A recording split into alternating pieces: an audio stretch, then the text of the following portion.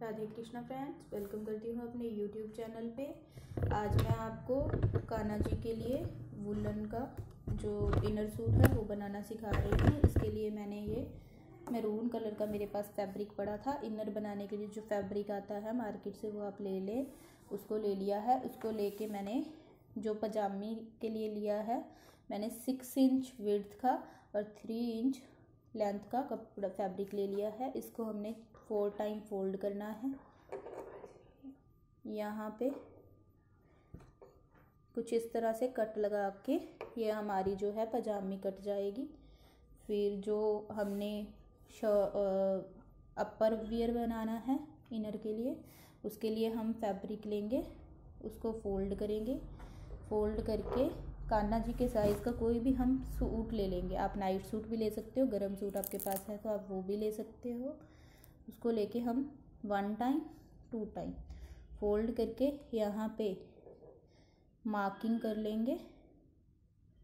कुछ इस तरह से मार्क करके इसको कट कर लेंगे। कट करने के बाद हमारे पास ये आ जाएगा। जब हम इसको कट करके फिर हम इसको बीच से कट करके और जो है नेक उसकी भी कटिंग दे देंगे। तो मैंने कुछ इस तरह से कटिंग कर ली है।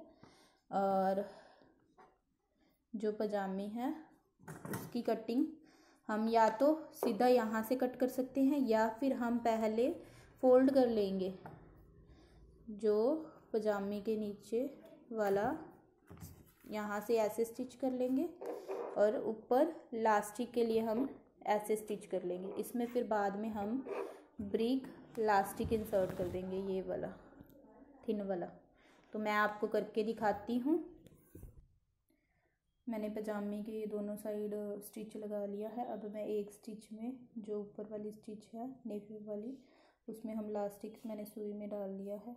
तो अब हम ये इसमें पिरो देंगे। तो ये हमने लास्टिक इंसर्ट करने के बाद उसको नोट लगा के कट कर लिया। अब हमने यहाँ पे स्टिच दे देनी है। स्टिच देने के बाद अब हमने यहाँ पे कट कर लेना। स्टिच दे के यहाँ से, बीच जहाँ से लेग्स आएँगी दोनों पजामे में, वहाँ से कुछ इस तरह से हमने कट कर देना है। कट करके फिर एक स्टिच हमने यहाँ पे दे देनी है। तो ये कुछ पजामे की शेप में बन के रेडी करके मैंने इसको सीधा कर लिया है। तो सीधा होने के बाद ये पजामे कुछ इस तरह की हमें दिखती है। अब मैं इसका अपर वियर के लिए क्या करूँगी? यहाँ ये जो स्टिच फिनिशिंग स्टिचेस दे दूँगी इन सब पे। नेक पे और स्लीव्स पे। उसके बाद बाद हम इसको अपोजिट साइड पे पलटाएँगे।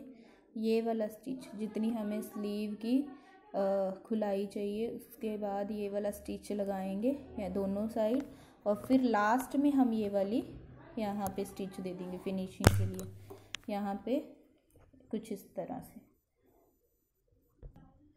तो मैंने ये स्टिच दे दिया है यहाँ पे भी फिटिंग के लिए और यहाँ पे मैंने फिनिशिंग के लिए और बीच में मैंने यहाँ पे फ्रंट वाली साइड पे वेलक्रो टेप ऐड कर दी है ताजो गोपाल जी को पहनाने में आसानी हो हमें। तो ये कुछ इस तरह का बन के हमारे पास रेडी हो जाएगा। इसके साथ ये पजामी, ये जो मैंने बनाया है ये ऑलमोस्ट थ्री नंबर के कान्हा जी को आएगा।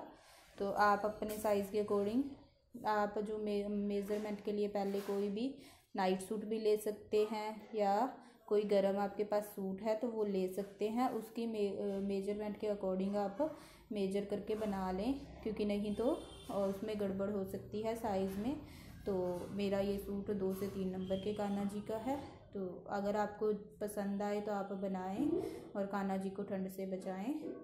Thank you and Radhe Radhe friends